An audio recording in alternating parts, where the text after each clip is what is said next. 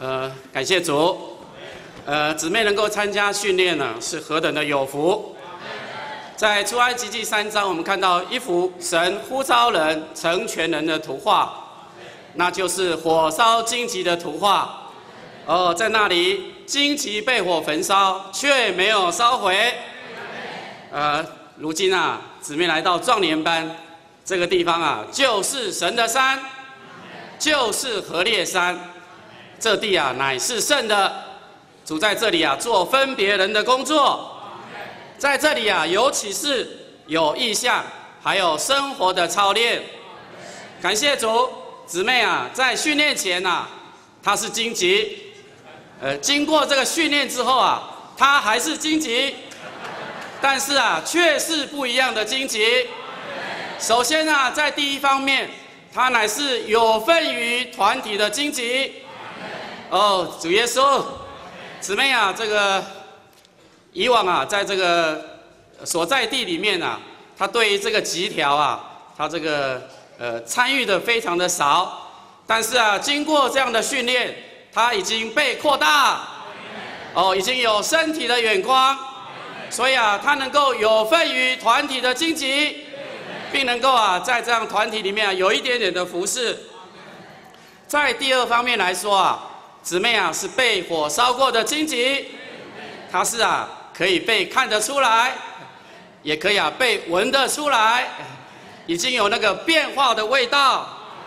所以感谢主，以往啊，姊妹在这个传福音还有接触人的事上啊，呃，她觉得非常的短缺，但是啊，经过训练之后啊，她能够与配搭一同的往前，能够啊出去传福音。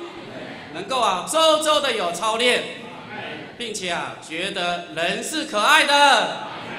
另外一面来说啊，姊妹啊，以往啊，因为睡眠品质不好，呃，她有一个非常好的理由啊，就晚睡晚起。她只要赶上啊，这个在李师母家里的晨星就可以了。但是啊，感谢主，她经过这样的训练呐，她乃是愿意操练早起，哦，一早就来亲近主。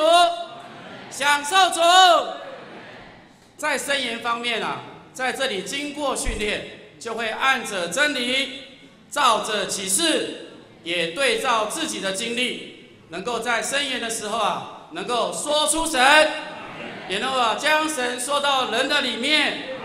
在训练这段期间啊，他每天晚上啊，就借着手机啊，与儿女啊，在电话里面有交通祷告。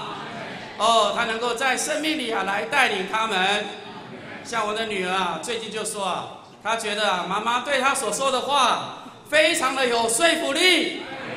哦，哈利路亚！姊妹也在啊一些场合当中啊，呃传这个受训练的福音。